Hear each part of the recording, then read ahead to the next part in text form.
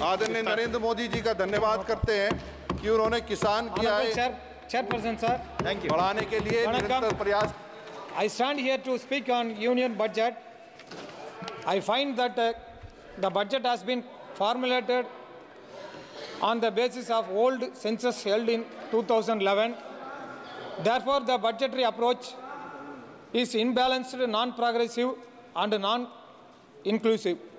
This budget intends to save chair only and does not spells even a single word for Tamil Nadu. Therefore, this budget is anti-cooperative, federalism and anti-democracy. மாண்புமிகு அவைத் தலைவர் அவர்களே இந்த நிதிநிலை அறிக்கை ஒரு முறையான கூட்டாட்சி தத்துவத்தை மதித்து உருவாக்கப்பட்ட நிதிநிலை அறிக்கை இல்லை. இந்த நிதிநிலை அறிக்கையில் தமிழ்நாடு முற்றிலும் புறக்கணிக்கப்பட்டிருக்கிறது.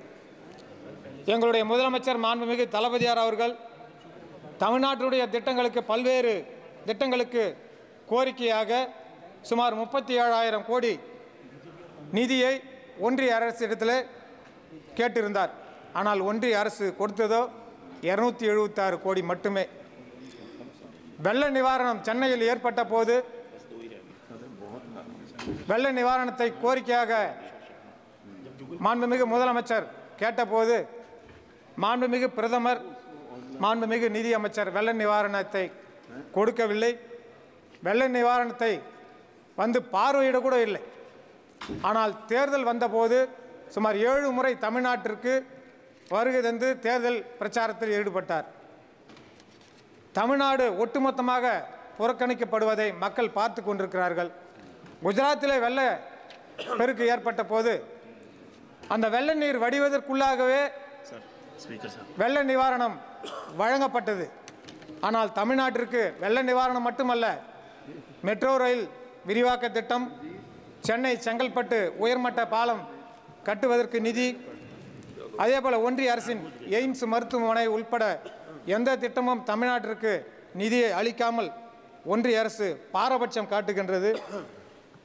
ஆனால் தமிழ்நாட்டிலிருந்து வருகின்ற வரி வருவாய் ஜிஎஸ்டியாக இருந்தாலும் சரி வருமான வரியாக இருந்தாலும் சரி அனைத்து வரிகளும் இன்றைக்கு ஒன்றிய அரசுக்கு வரியை ஈட்டித் தருவதிலே தமிழ்நாடு இந்திய அளவில் இரண்டாவது மாநிலமாக வரி வசூல் பண்ணி வசூ வசூலித்து தருகின்றது. அதே போல் இவ்வளவு வரியை ஒன்றிய அரசிற்கு தமிழ்நாடு அளித்த போதும் இன்றைக்கு வாக்கு வங்கி அரசியலாக வாக்கு வங்கி நிதிநிலை அறிக்கையை இன்றைக்கு ஒன்றிய அரசு தாக்கல் செய்திருக்கின்றது.